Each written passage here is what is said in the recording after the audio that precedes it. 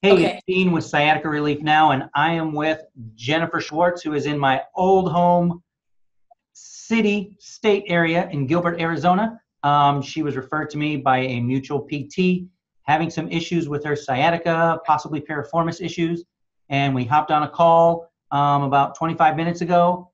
And I will let her fill you in on the details, but thanks for letting me do this. Thanks for agreeing to this. Thanks for letting me use it for marketing. And just a quick background she um, injured her back in May. She's a school teacher. She was doing a lot of moving. And then right after the end of school year, they decided to um, pack up their house to move. And so she was doing double duties of moving, taking care of a toddler, moving, taking care of a toddler, and her back flared up and her legs flared up.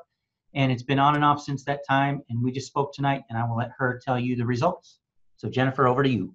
Thank you. So yeah, I believe it was a herniated or a bulging disc and it went right into the sciatica.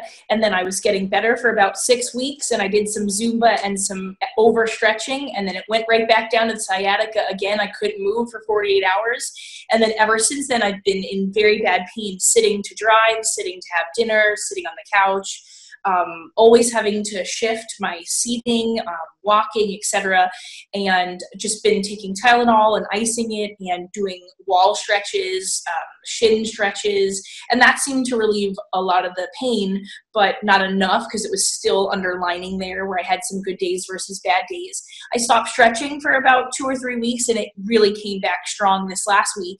So, my very good friend Scott uh, told me about Dean, so we got on the phone call today and um, he had me do about 25 minutes of stretches. Um, he just watched how I did them, and when he kept asking me at my pain level and adjusted it to whatever um, was most comfortable for me, working the side that didn't um, didn't hurt as much. And then um, after a good 20 minutes, I was down to like a pain level of a one, which is really good, which is what I want to feel like again.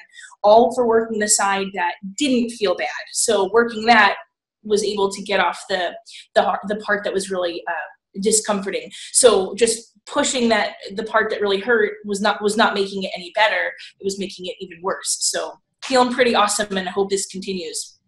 Awesome. Thanks, Jennifer. Thanks for You're welcome. up on this. And um, maybe if I ever make it down to um, Arizona, I will um, be able to treat, well, hopefully not have to treat you in person, but we can celebrate in person. Yes, that'd be great. Thank you very much for your time.